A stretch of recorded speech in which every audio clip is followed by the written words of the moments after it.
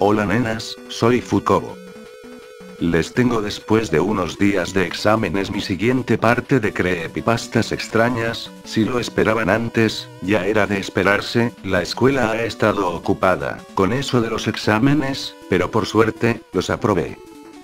También se me acabaron, porque el vídeo anterior fue muy largo, pero apuesto que casi nadie lo vio XD. Bueno, sin más discursos, comencemos.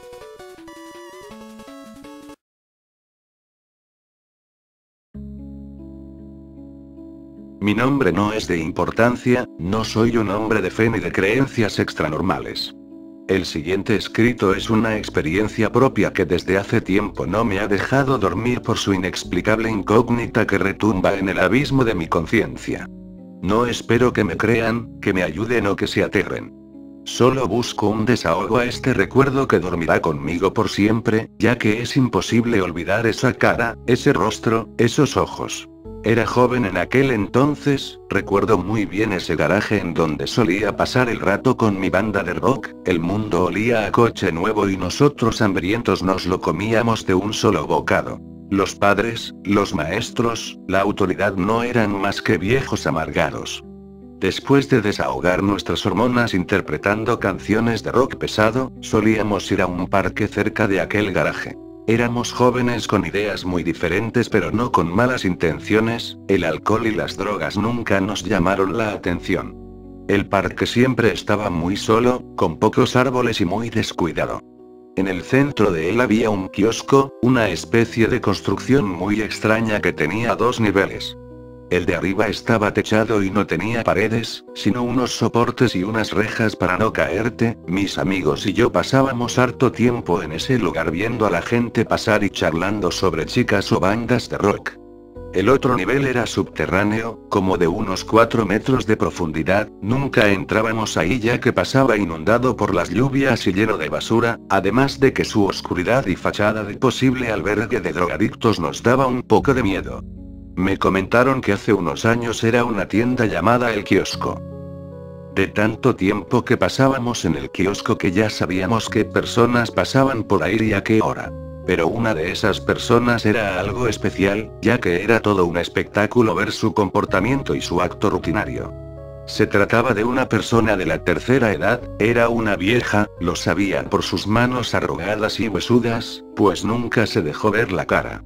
Tenía una postura muy inadaptada y caminaba con dificultad, se ladeaba de un costado y su mirada apuntaba al otro costado, tenía una joroba inmensa que no le permitía alzar la mirada y usaba ropa vieja y desgastada con la que se cubría todo el cuerpo. A pesar de que siempre iba cargando dos bolsas rojas grandes de tela gruesa, una en cada mano para equilibrarse, nunca nos preguntamos qué tenían dentro. Pasaban los días y la vieja seguía rondando ese parque, y a veces se dormía dentro del kiosco. Llegamos a la conclusión de que era una loca sin hogar y en las bolsas cargaba su ropa o pertenencias con las que sobrevivía. Una noche fría nos fuimos a platicar en la planta alta del kiosco, recuerdo aquel tremendo grito que rompió con el silencio de invierno. No dudamos y desde la planta alta nos asomamos abajo para saber qué había ocurrido. Como estampidas salían gatos negros de las escaleras subterráneas corriendo alterrados, nunca había visto esa cantidad de gatos juntos. Corrían hacia ningún lado haciendo tremendo alboroto. El olor pestilente y espeso me hizo voltear de nuevo hacia el fondo oscuro de las escaleras, y ahí estaba la vieja loca con una de sus bolsas vacías. Nunca la vi moverse tan rápido, parecía asustada y subía las escaleras con torpeza. Un gato pasó entre sus pies, ella lo trató de agarrar pero era demasiado lenta y el frío le había entumecido el cuerpo. La vieja gritaba con gestos de locura y tristeza, eran chillidos cortos y forzados, como si le doliera algo o estuviese enferma. El último gato desafortunado pasó cerca de ella, lo tomó por la cola y el gato emitió un chillido espantoso. La vieja lo levantó y colgaba como péndulo, lo miró detenidamente y le susurró algo creo que su nombre. A pesar del esfuerzo del gato por huir, lo metió en la bolsa y la cerró. El gato brincaba dentro de la bolsa y chillaba. La vieja lentamente se perdió en la oscuridad de las escaleras subterráneas. Pasaron los días y la anécdota la platicábamos constantemente entre nosotros tratando de buscar una explicación. Escribí una canción sobre ello, Catching Bugs, que ya no recuerdo. Entramos a la preparatoria, tuvimos novias y la banda se disolvió, pocas veces nos veíamos, duramos años sin vernos. Un día me hablaron invitándome a platicar, nos juntamos esa noche en el kiosco, como en los viejos tiempos, solo que ahora con una botella de whisky y algunas cervezas. Después de unos chistes y un par de tragos, quise ir a orinar pero el alumbrado del parque no era favorable, así que fui abajo del kiosco. Estaba bajando las escaleras con una cerveza en mano y bajándome la bragueta, cuando recordé aquella noche que preferiría haber olvidado. Me dije a mí mismo cobarde y bajé hasta el fondo. Miré el interior pero no apreciaba nada más que basura y un charco inmenso de agua negra, así que empecé a orinar. Un amigo gritó, riéndose. Escribe mi nombre. Me reí con él y contesté. Lo haré pero sin manos. Seguí orinando y tomé un gran trago de cerveza, bajé la mirada antes de pasarme el trago y me quedé pálido al ver un gato negro que me miraba fijamente a unos cuantos metros. Me esforcé para dejar de orinar aún sin acabar y me subí a la bragueta y me ponía el cinturón rápidamente por el miedo mis movimientos eran torpes, cuando el gato pasó al lado mío para subir las escaleras. Nunca me dejó de mirar, el gato iba despacio y parpadeaba lento, hipnotizante. Escuché un ruido de movimiento dentro del kiosco, volteé para saber si era uno de mis amigos, pero estaban arriba tomando y platicando. Para mi sorpresa, el gato no estaba en la escalera. Seguramente el ruido lo espantó y corrió, yo me quedé impactado por el ruido. Me preguntaba qué era y no veía nada, todo era basura y un charco de agua negra con un retoque de amarillo. En la oscuridad algo se movió, algo que ya estaba ahí y no vi antes, era aparatoso y se movía lento. De inmediato pensé que era la vieja. No te mentiré, compañero lector, en ese momento sentí miedo, miedo como nunca había sentido. Me paralicé y no podía gritar, respiraba lento para no hacer ruido y mis latidos eran fuertes y rápidos. La sombra era cada vez más visible, hasta que alcancé a distinguir esas bolsas rojas que ella siempre cargaba, solo que ahora las arrastraba con más dificultad, y ambas bolsas se veían completamente llenas de bultos. Cada vez que se movía arrastraba la bolsa entre el charco, y pude ver cómo su vestido estaba mojado y, a pesar del frío, no temblaba. De una bolsa colgaba un listón peludo y negro que no alcancé a distinguir muy bien, y estaba preparado para salir de ahí rápidamente sin hacer ruido. El listón negro y peludo se agitó rápidamente, se escuchó un chillido extraño y con él un montón de chillidos de gatos en efecto mariposa provenientes de la bolsa. La bolsa se agitó con tremenda fuerza, lo que provocó que la vieja se detuviera. Me dio tanto pavor que me fue imposible moverme. La vieja giró su cabeza y la vi por primera vez al rostro, era muy anciana, con nariz afilada y sus ojos eran completamente negros pero brillantes. Estaba muy sucia y descuidada, pero lo impactante fueron sus ojos, pues a pesar de no tener pupilas, sentía su mirada incrustada en mí. Se notaba asustada y triste. La adrenalina en mi sangre fluía y me hizo correr como nunca, haciendo tremendo alboroto. No recuerdo muy bien, pero mis amigos me comentan que estaba llorando, temblando, que me salpiqué un poco en el pantalón lo que fue motivo de burla por parte de mis compañeros, pero me veían tan asustado que no se lo tomaron a juego. Me preguntaron qué había pasado y les comenté que la vieja estaba abajo y sus ojos eran completamente negros. Un amigo dio un paso atrás, y me preguntó, ¿la vieja de los gatos? Contesté, Sí, ella, está aquí mismo y sus ojos, sus ojos. Mi amigo me interrumpió, tartamudeando. No, no es posible, es una broma. Esa vieja murió hace unos días. Un montón de patrullas de policías rodearon el parque. Era muy famosa en la colonia y todos los vecinos se enteraron. Esa noche no dormí. Mis compañeros y yo decidimos nunca más tocar esa canción, ni hablar de lo ocurrido. Desde entonces nunca hemos regresado al kiosco, y cada vez que veo un gato negro, veo en sus ojos algo brillante, como aquellos ojos negros que nunca olvidaré, esos ojos que se incrustaron en mis sueños de por vida.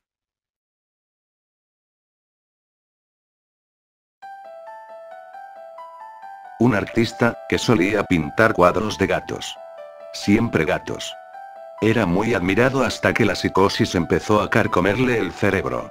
Este hombre, nacido a principios del siglo XX se llamaba Louis Wine, a los 20 años empezó a pintar sus primeros cuadros, donde mezclaba siempre un estilo sentimental y realista. Muy gatuno en sus obras, cautivó a los londinenses con sus obras de arte. Prueba de su aceptación artística se vio reflejada en el uso de sus obras para las tapas de álbumes, tarjetas postales, cuadros de casa, etc. La mayor parte de su vida vivió en reclusión con sus tres solteronas hermanas y 17 gatos. Siempre gatos. A sus 57 años, la psicosis empezó a atormentarlo. Se sentía acosado por los gatos, era como si los gatos le pudieran leer la mente y controlaran a sus hermanas para dañarlo, se volvió hostil y sus emociones podían verse reflejadas en su arte, sus retratos se hicieron amenazantes. Cada vez sus gatos se hicieron más hostiles y amenazantes. Siempre gatos. Wayne pasó luego, sus últimos años de vida en distintos hospitales psiquiátricos. Internado por sus preocupadas hermanas, quienes ya sufrían los ataques de Wayne. Los gatos me leen la mente y las controlan a ellas. Ellas me quieren lejos, los gatos me quieren lejos. Me quieren en el más allá. Lucía perturbado, siempre sentía como que alguien lo perseguía, eran los gatos. Ellos me quieren muerto. En consecuencia de sus cosis los gatos dibujados eran cada vez más hostiles, eran sus perseguidores, esos gatos. Siempre gatos. Cada vez con una mirada hostil más pronunciada, más evidente. Está en un mundo amenazador. Le amenazan los gatos. Luego empieza a fragmentar a los gatos de sus retratos. Cada vez son más fantasmagóricos. Pueden cruzar paredes, pueden flotar, pero no me atraparán, no lo harán no. Finalmente sus cuadros pierden el sentido total. Siempre gatos. Solo mantenían su diseño barroco infinitamente detallado. Sin embargo los gatos se convirtieron en seres más abstractos por no decir demoníacos. El gato de la izquierda, fue pintado durante su etapa inicial como artista. Se diferencian sobre todo los ojos alarmados. La piel puntiaguda también era normal. Era cuando aún no le amenazaban los gatos. En el siguiente retrato, el gato es muy amenazador. Predomina un rojo sangriento. Sobre todo en los ojos. Siempre gatos. Gatos endemoniados. Una muestra de su psicosis progresiva.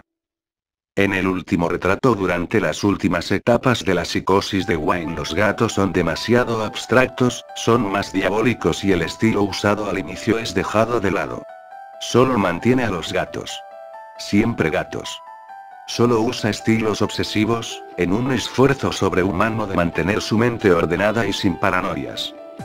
Malditos gatos, sé que están allí, pero no evitarán que exprese mi arte. Nunca. Siempre. Gatos.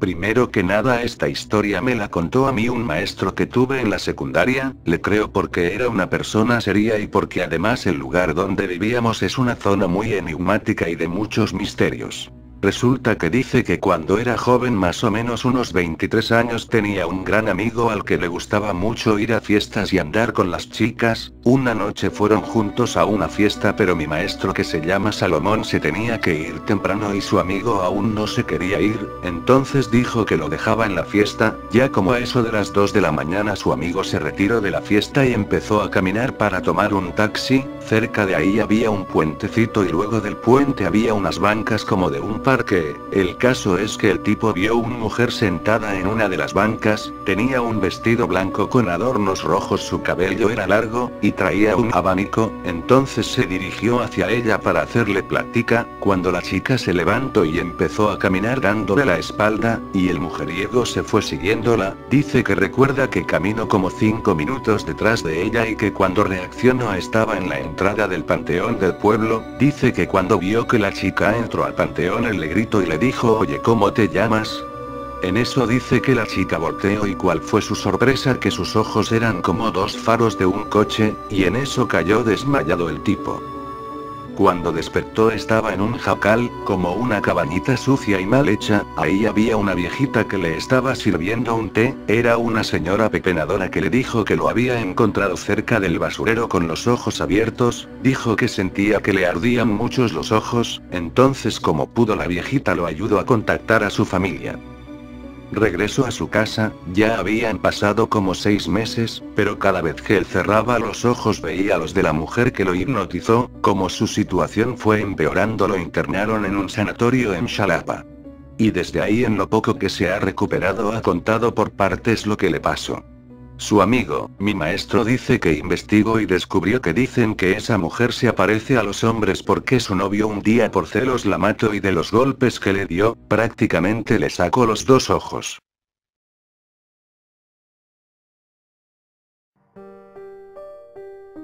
Son las 3.00 de la mañana y tus amigos y tú estaban festejando a Halloween. ¿Has visto tus películas de terror favoritas, contado tus historias de terror favoritas, y hasta intentaste el viejo truco de Verónica en tu espejo? Luego de que tus amigos se fueron, te estiras y bostezas, decidiendo que es hora de ir a la cama, así que vas directamente a tu cuarto para dormir. Después de un rato, valga la redundancia, te das cuenta de que no te puedes sacar las imágenes de los monstruos ficticios que recién viste en tu televisor. Me me voy a odiar por esto en la mañana, dices con voz alta mientras prendes tu lámpara, sabiendo que cuando eras niño una luz de noche te ayudaba a dormir. A minutos de dormir, estás acurrucado y confortado debajo de tus tibias sábanas, mientras tus ojos se cierran lentamente, inundando tu mente con placenteros pensamientos. Eso es, al menos hasta que detectes algo moviéndose frente a la lámpara, creando una sombra frente a ti. Parpadeas, mientras empiezas a dirigir la vista hacia la lámpara, una mano en descomposición te toma por el hombro y una voz dice gracias por encender las luces, tenía problemas para encontrarte en la oscuridad.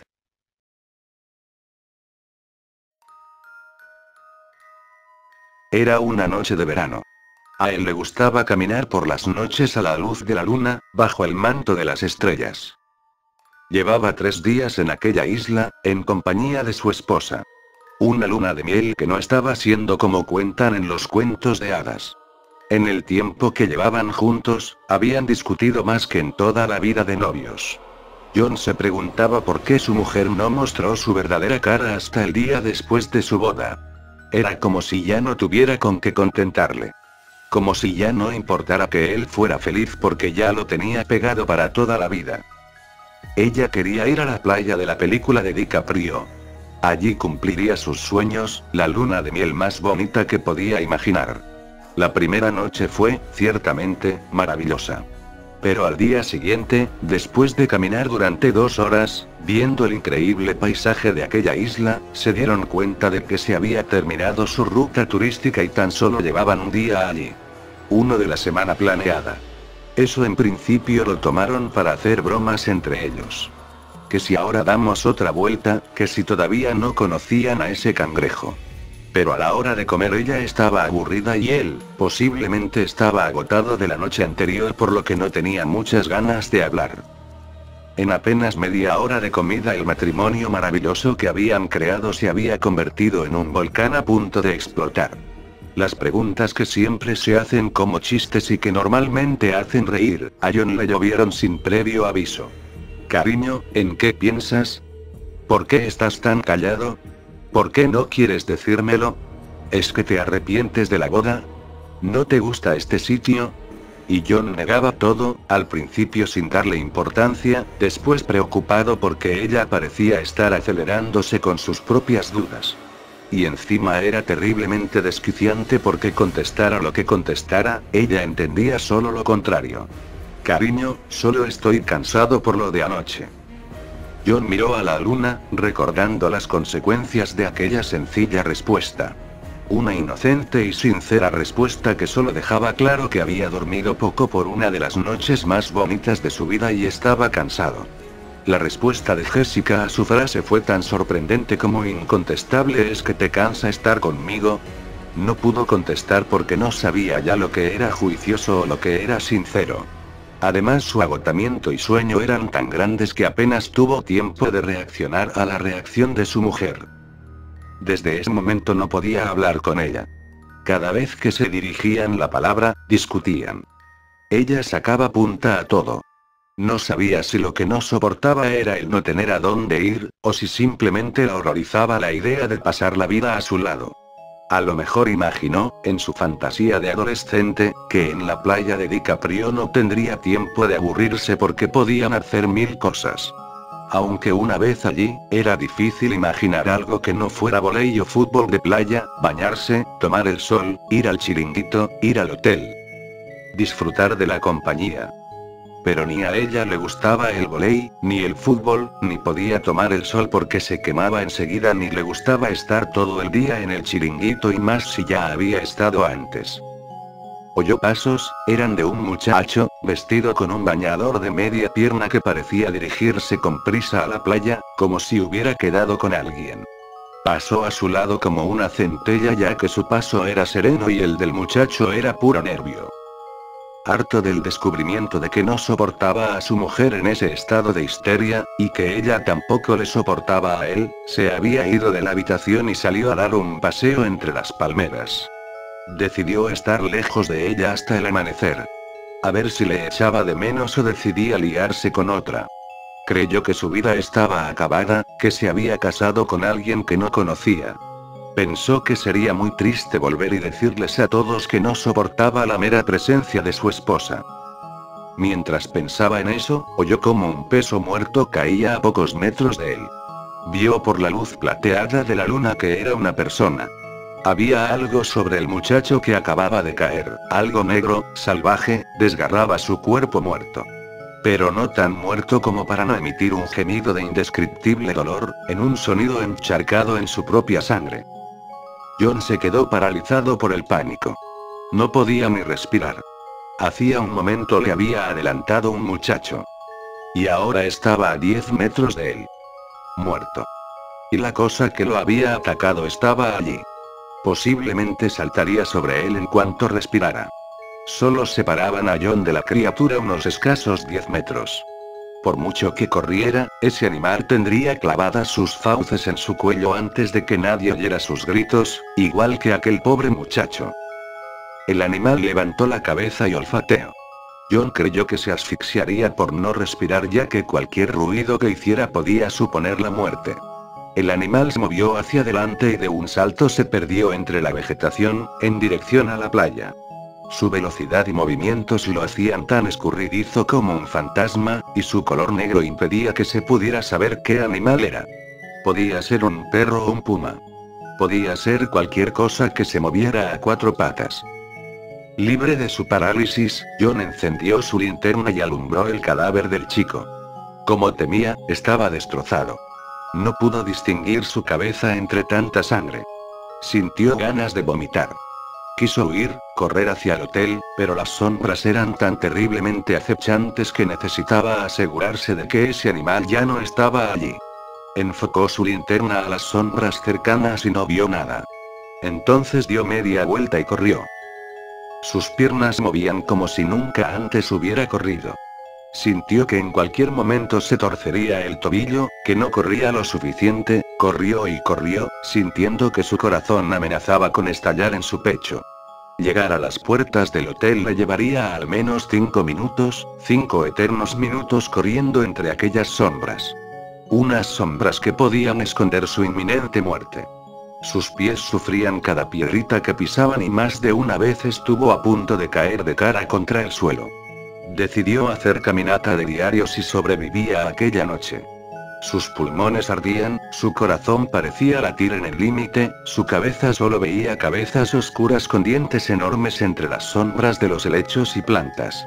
Enfocaba con la linterna donde creía ver una cabeza. Entonces pisó una piedra grande y su tobillo cedió. Sus rodillas se incrustaron en aquel suelo pedregoso y sintió que su piel se cortaba. Cayó de bruces y no fue capaz de moverse durante unos segundos. Estaba muerto de cansancio. Había corrido demasiado. Se dio cuenta de que no podía recorrer cuatro kilómetros como si corriera los 100 metros llanos. Se preguntó si estaba lo suficientemente lejos del animal como para estar a salvo. Se obligó a levantarse y continuar corriendo con las pocas fuerzas que le quedaban. No deseaba seguir envuelto en aquella oscuridad. Además su linterna se había roto en su caída, no podría alumbrar el suelo para evitar las piedras. Tendría que continuar mucho más despacio. Entonces escuchó un rápido y letal trote tras él. Era sin duda la criatura, que corría como una exhalación hacia su dirección. Se levantó, le dolían las rodillas, que las tenía completamente cubiertas de sangre. El pánico volvió a poseerle, pero esta vez en forma de fuerzas inhumanas. Corrió de nuevo con más fuerzas que antes, voló sobre sus pies, corrió cuanto pudo a pesar de creer que en el mismo momento en que dejara de hacerlo, moriría por los dientes de aquel animal o porque su corazón no resistiría tal esfuerzo. Al correr, dejó de escuchar el trote, pero eso no le tranquilizaba ya que solo era porque sus monedas de los bolsillos, su cadena del cuello, el tejido de su camisa y pantalones y sus pies aplastando el suelo eran demasiado ruidosos como para permitir seguir escuchando la procedencia de la amenaza. Sus piernas empezaron a flaquear, sus fuerzas se agotaban. No podía correr mucho más. Los pulmones le ardían tanto que creyó que estaba a punto de escupir sangre. Entonces, al detenerse, se dio cuenta de que nadie le seguía. Miró hacia atrás lo que vio le dejó paralizado.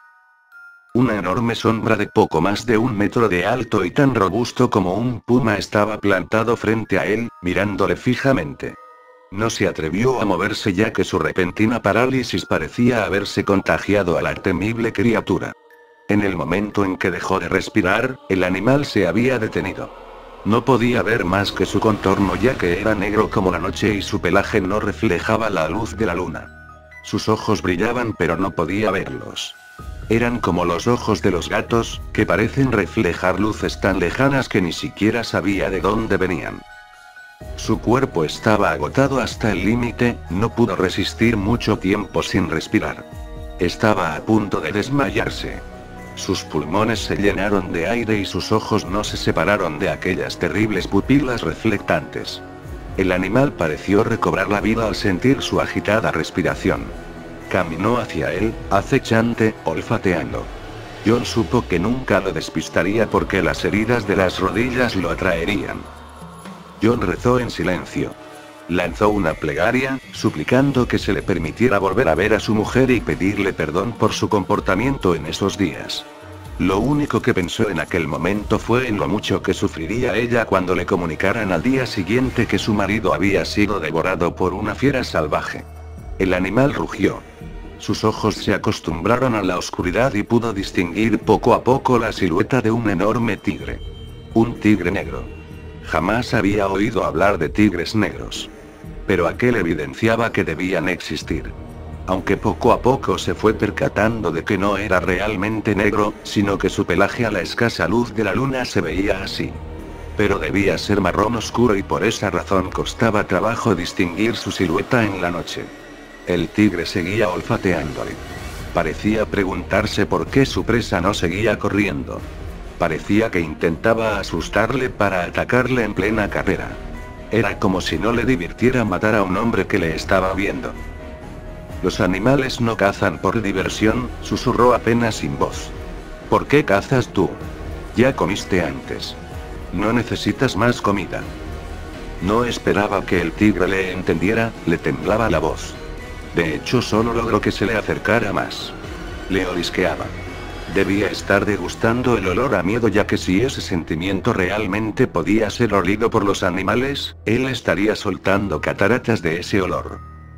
Un disparo rompió el silencio y el tigre se asustó. Durante un instante hubo un fogonazo a poca distancia y pudo ver el verdadero color y tamaño del animal. Era un tigre normal, enorme. Tenía la piel con manchas marrones, amarillas y blancas. Aquel disparo asustó al animal y se perdió entre las sombras negras de los helechos. ¡Oh cielos! Dijo alguien a su espalda, ¿estás bien? John se volvió y vio a un hombre de unos 40 años con un rifle de caza en las manos. ¿Qué demonios hace fuera del hotel por la noche? Le espetó el individuo. Lárguese, corra todo lo que pueda. ¿Puede dejarme un arma? ¿Quiere cazar un tigre con un machete? Se burló el cazador. ¿Cómo es que hay un tigre? Amigo, esto no es un parque de diversiones, es una isla en medio del Caribe y lo que tiene a su alrededor es la jungla. Deberían haberle prohibido salir, pero supongo que a la gente del hotel no le interesa demasiado que la gente se muera ahí fuera. Así pueden quedarse con todo su dinero. No me entretenga más, ese tigre ronda el hotel demasiado cerca, hay que matarlo o asegurar que se aleje. El hombre se alejó pero de pronto el tigre salió de un arbusto cercano y le cayó encima clavándose las garras en el pecho y destrozándole el cuello con violentos mordiscos. Los gritos desgarradores avivaron las piernas de John, que corrió cuanto pudo alejándose de aquella terrible escena. Su paso fue ligero, pero no tenía fondo para correr tanta distancia. Y además sus heridas de las rodillas empezaban a secarse y le escocían desagradablemente. Recordó lo poco que tardó la bestia en terminar con el otro y supo que no podía dejar de correr si quería llegar de una pieza. En apenas 10 minutos llegaría a la puerta del hotel. Unos minutos en la vida rutinaria que ahora eran una agonía interminable. En el primero comenzó a escuchar las pisadas sordas de la bestia siguiéndolo en la lejanía. En el segundo se acercaba a él tan deprisa que no creyó que llegaría al tercero. Apretó el paso y finalmente sus piernas dijeron basta. Cayó rodando, exhausto. Su respiración era agitada y los pulmones le ardían, iba a morir y no tendría fuerzas ni para ahuyentar una mosca. Jennifer, siento no haberme quedado contigo. El tigre llegó a su lado y le rodeó lentamente con pasos medidos, sin perderle el ojo de encima. John cerró los ojos a pesar de que la oscuridad era impenetrable. No quería que Gen le viera destrozado y con los ojos abiertos. En ese momento solo podía pensar en ella y lo mucho que lamentaba haber discutido tan fuerte en su luna de miel. El animal le olisqueó y levantó las orejas. Algo más le había distraído. Una voz lejana. ¿Estaba salvado? El tigre caminó hacia el hotel a medida que la voz se acercaba. Era la voz de una mujer. De pronto entendió lo que gritaba. John. Era Jennifer, ¿dónde estás? Su tono de voz era inconfundible, estaba preocupada, debió preguntar por él en recepción y le tuvieron que decir que era peligroso salir de noche como él lo había hecho. Seguramente le aconsejaron que no saliera o pudo ser que ella misma enviara al cazador. Había salido a buscarle al ver que éste no regresaba. El animal corrió hacia ella y John soltó un gemido de impotencia. No, no, bestia, vuelve aquí, no has acabado conmigo, exclamó lo más fuerte que pudo. Lo siguiente que escuchó fue el desgarrador grito de Jennifer y el sonido de la bestia destrozándola.